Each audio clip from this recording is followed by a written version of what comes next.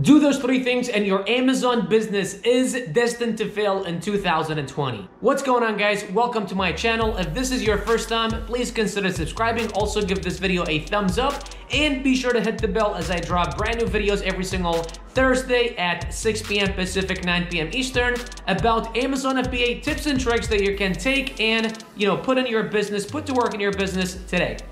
Now, I'm pretty sure you guys have watched many other YouTube videos and, uh, you know, people's success stories and people crushing it, totally crushing it with Amazon.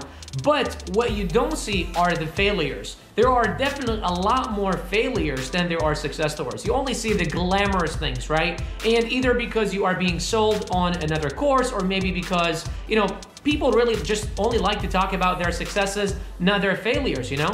Now, stats have it that 90% of beginner Amazon sellers actually do fail. I know that is a staggering and crazy and scary number for you, um, but it is true. And the following three things really have a lot to do with the reason why this number is very high. It's simply the same as when you launch a brand new listing on Amazon. When you first put it up on Amazon, Amazon throws you all the way in the back of the searches. And really 80% of sales happen among the top 10 listings. So you look at it, top 10, 80% of sales, everyone else only 20%. Crazy number. And this is exactly why many people fail because of many things, right? But the following three things are the top three.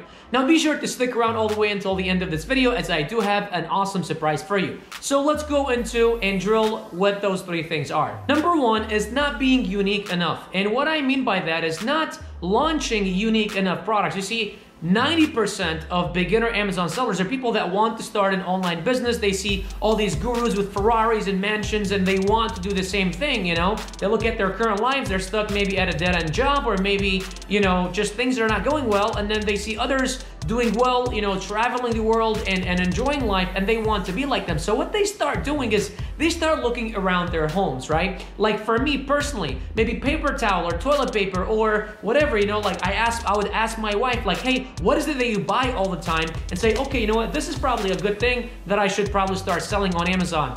Wrong. And simply because if you are thinking that, Imagine how many other people around the world are thinking the same exact thing. And that is the most thing that really, you know, that has to do with why many people fail with selling on Amazon.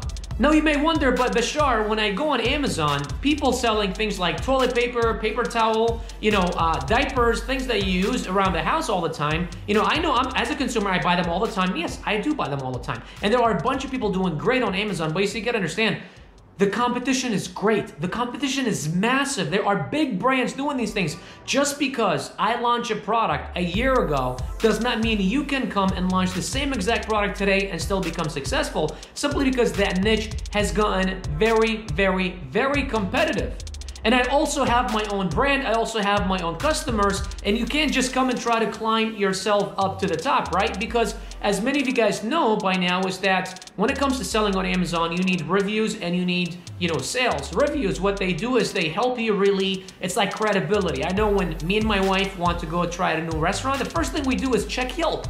Make sure that, you know, this place that we've never been to has good reviews, right? So reviews really generate credibility. So if your top competitors have thousands of reviews, how exactly are you as a brand new seller with either no reviews or, you know, little to no reviews are gonna make it and try to compete, you know?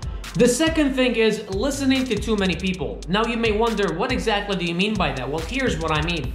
Many people out there, when they try to start to do something, they go into what is called a research mode, right? And that's probably you, and that was me a few years ago, and that is me every time I try to do something new, and that is okay. That's actually the good way of doing it. However, what happens is you start listening to 10 different people, and the problem with that is that everyone got their own way of doing things.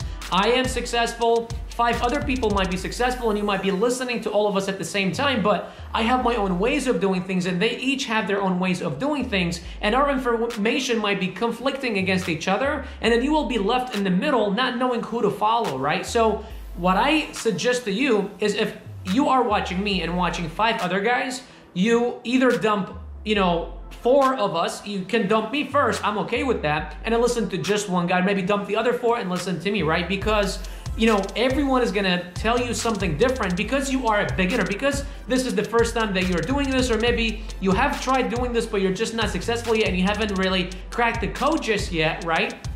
You're gonna be very confused and and kind of be in the in the middle of of not knowing, you know, being pulled in different directions and not know really, you know, who to follow and what is really the exact way, the right way of doing this. And to be 100% honest with you, having too many mentors or too many people that are guiding you is literally worse than not having a mentor or any guidance whatsoever. And that takes us to number three, which is not having a mentor, not having a guidance, not having a blueprint and doing it on your own. Now, you see, many people get out there and say, you know what, if this guy can do it, I can probably do it as well, right? If this guy has figured out how to sell on Amazon or really anything, I can do it, and you are definitely right. That was me five, six years ago when I first started my restaurant business, right? I seen all these other, you know, people with successful restaurants, and I didn't really see. It's like, you know, when they say you only see the tip of the iceberg, you don't see really what's below the surface, you know? You don't see the grind and the hustle and the bustle to get to where they are right now. You only see the glamorous things because people don't really like to talk about the failures. People only like to show off the glamour, you know, the only the, the good stuff, right? So you think that, you know what, this person just, you know, maybe uh, uh, uh, uh, pressed a couple buttons and then bam, you know, things started working out for them. So if they can figure it out, if they can do it, I can probably do it. But many people don't tell you that they had to go through trial and error. They had to go through learning phase. There's that learning phase, right? And yes, you can probably figure it all out on your own. However, it might take you six months and it might take you a year or even two years. You might never figure it out and you might even give up before you even get there. And it probably will cost you a lot more time um, and a lot more money than you really think. You know, where and instead you can invest 500,000, 2,000, whatever the money is into a course or a mentoring program or whatever it is and, and, and have them collapse that time accelerate the learning curve, and get to profitability, but most importantly, avoid making simple mistakes that can cost you a lot in the long run. And believe me, I know, you know, it comes from experience because number one, I lost hundreds of thousands of dollars on, in my restaurant business before I started selling on Amazon simply because I thought the same thing, and I also wanted to, you know, try to do it on my own, and I had too big of an ego to even ask for help. And when people, you know, said, "Hey, here is my help," I said, "No, get the hell out!" Right? So don't be Bashar five, six years ago, right? Be Bashar today, right? Every single month, I invest three to five thousand dollars per month right, on self development courses, mentors, masterminds, consultants, because I know that in order for me to go to the next level, I need a new information because the information I have today has only gotten me so far, right? And instead of me trying to go through trial and error, I'd rather have someone pay them for their knowledge and simply collapse that time and get to where I want to go a lot quicker. So guys, once again, just to recap, number one, make sure that you are being unique enough. Don't look at just, you know, anything around the house and try to sell it on Amazon. Number two, don't listen to multiple people. Pick one person that you like and then just go all the way. Number three is, you know, uh, make sure that you don't do it on your own because there's a better way, there's an easier way, there's a faster way. If you want the the people ask me what is the shortcut to success, I tell them piggyback on someone else's success. Do not reinvent the wheel. Someone has already done it before you, so simply tap into the resources and then let them help you through it.